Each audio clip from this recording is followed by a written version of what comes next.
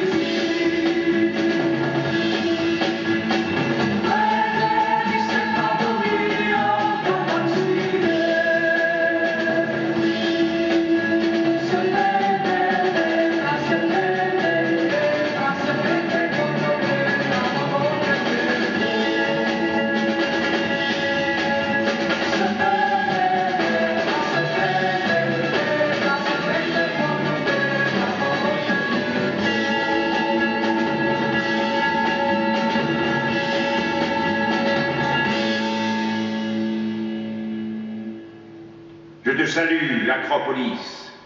L'étoile polaire vise de ses rayons la cible du monde. Athènes première. Au fond des âges, les pêcheurs sous-marins te voient derrière leurs masques. Galère, voiture de tourisme, bordel clandestin. La sûreté, centre du monde. L'étoile polaire vise la cible du firmament. Les Pléiades, Aphrodite, Dina, Sula, Evie, Irini, à 5 mètres, à 5 mètres, à 5 mètres, à 5 mètres seulement de ma cellule.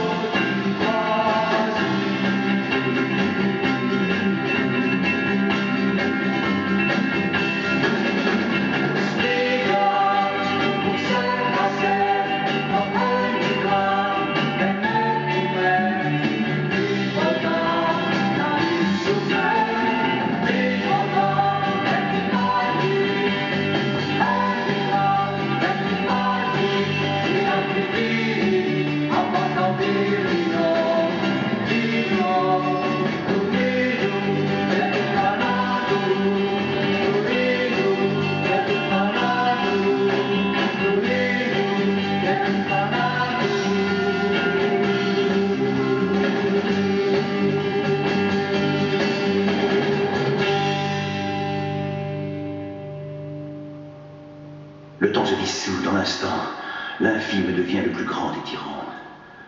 Torture des plaies efflorescentes, sourires et promesses d'autre chose. Cette autre chose qui revient à vivre chaque instant en pensant vivre autrement. Mais cet autre n'existe pas.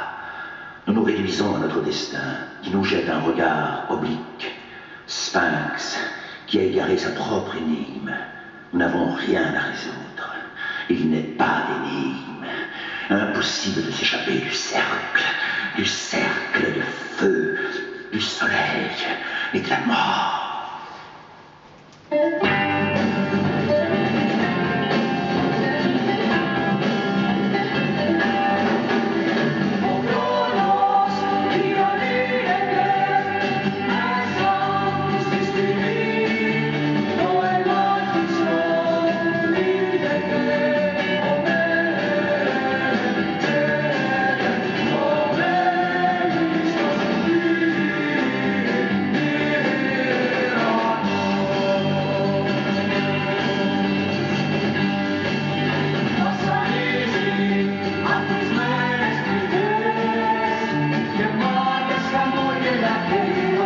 Amen.